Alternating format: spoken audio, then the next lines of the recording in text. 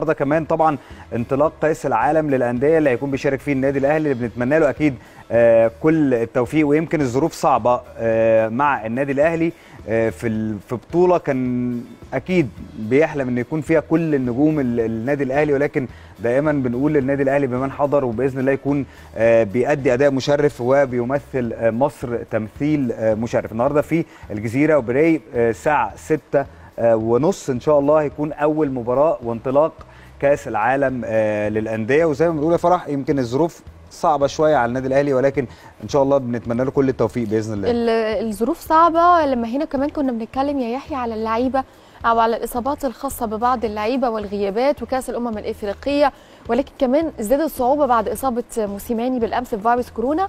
ولكن بنتمنى لهم كل التوفيق إن شاء. الله إحنا كنا بنعلن مع حضراتكم امبارح إنه الحاله مستقرة بالنسبة لمستر آه، بيتسو موسيماني ولكن بنتمنى إن شاء الله إنه الأمور تفضل كده على ما يرام وإنه الأداء ما يتأثرش للنادي الأهلي وإنه يحاولوا يفصلوا على قدر الإمكان ما بين كل الظروف المحيطة آه، بيهم ودايما بنقول الأهلي بمن حضر